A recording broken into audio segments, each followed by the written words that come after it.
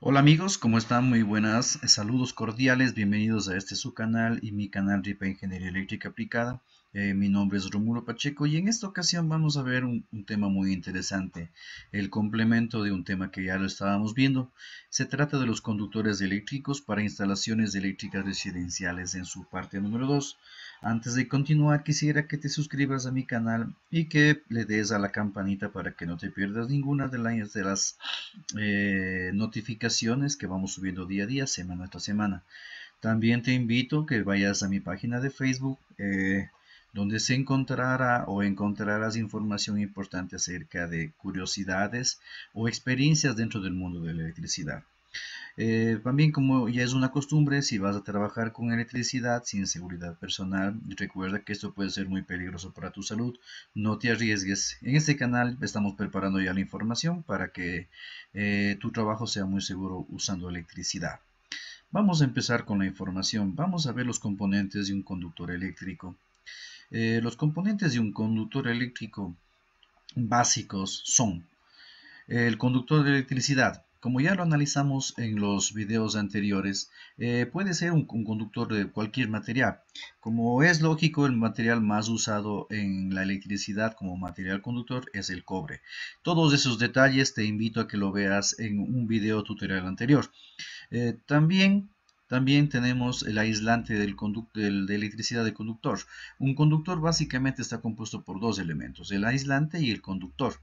Los aislantes también pueden ser cualquiera de los materiales que estudiamos en los videos tutoriales anteriores. Eh, te invito a que los revises porque te está muy detallado esa información.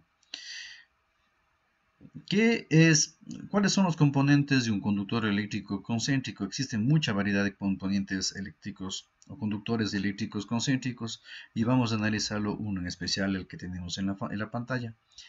El conductor del cable, obviamente, sí. Eh, el conductor básicamente es el por donde que se transmite la, corriente eléctrica, siendo obviamente el cobre el material más utilizado. En algunos casos también se utiliza el aluminio, como si lo veíamos anteriormente. El aluminio básicamente se lo utiliza para, transporte de energía por redes de transmisión de potencia y en el caso de distribución eléctrica ya sea en media tensión o en baja tensión o medio voltaje y bajo voltaje. Tenemos también el aislamiento del cable. Eh, generalmente el aislamiento del cable es una capa de polímero plástico, el astómero, que rodea al conductor y que lo aísla de contactos exteriores. Eh, recuerden, contactos exteriores también y contacto con el ser humano. Existen dos clases de aislamientos básicos que se utilizan, que son los termoplásticos y los termoestables. Vamos a estudiar cada uno de ellos. Los aislamientos termoplásticos son aquellos que el material se aplica y no sufre transformaciones químicas, o sea, no varía en su forma. El PVC es el más habitual de los aislamientos termoplásticos porque tiene una temperatura máxima de servicio de 70 grados. A, 70 grados, luego de eso ya, ya sufre algunas modificaciones que no están dentro del diseño de este tipo de aislamiento. Los aislamientos termoestables se transforman químicamente en un momento de, extrusión. El resultado es un compuesto eh, estable ante el aumento de la temperatura. Por eso se permiten que se utilicen a temperaturas superiores y es el más usado obviamente, ¿no es cierto? Los materiales termoestables de aislamiento son los más habituales, como nos decíamos básicamente. Los más conocidos son los, los aislantes LXPE y los EPR, y que tienen una temperatura máxima de servicio de 90 grados. Si se dieron cuenta, eh, los, los, aislamientos anteriores teníamos una temperatura de servicio de 70 grados. En el caso de los termoestables tenemos una temperatura de servicio de 90 grados. Esa es la gran diferencia también que tenemos. Cuanto mayor sea la mm, máxima temperatura de servicio, también será la mayor corriente podrá transportar un conductor. Sí, eh, a cuanta más corriente, mayor potencia tendrá. Eso es muy importante saber. Por eso es importante leer bien las especificaciones de los cables para poder saber qué conductor e-, elegir. Eh, la principal ventaja del aislamiento no estable frente a los termoplásticos, ¿sí?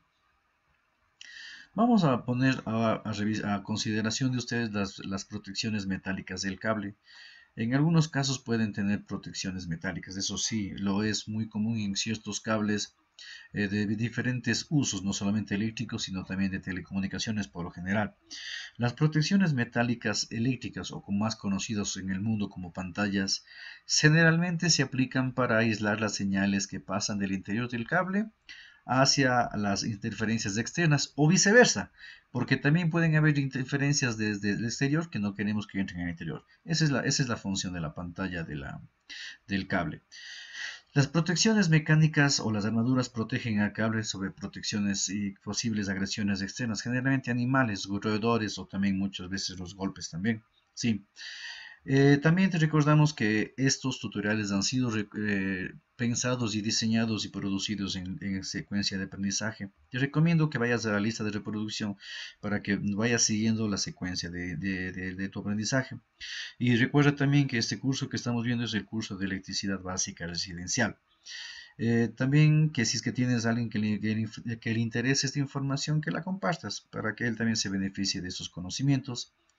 Eh, vamos a continuar. La cubierta exterior del cable.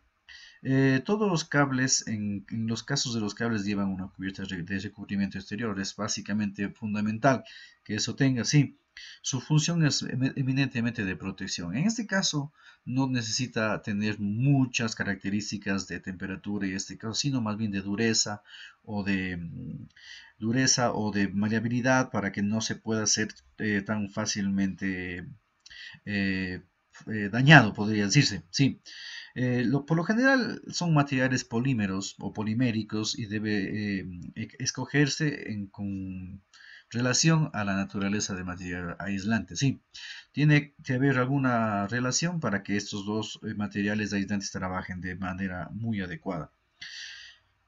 Eso es todo por ahora. Los comentarios, las sugerencias y las consultorías, por favor, déjalos en la caja de comentarios, teniendo en cuenta que las consultorías se tratan de mm, temas que si de pronto tú tienes alguna dificultad para resolverlos, nosotros podríamos ayudarte sin ningún inconveniente. Eh, nos ponemos en contacto y resolvemos tu problema y tu proyecto saldrá avante y de buena forma. Eh, de tal manera también te invito a que revises la descripción del video y encontrarás información y oportunidades importantes.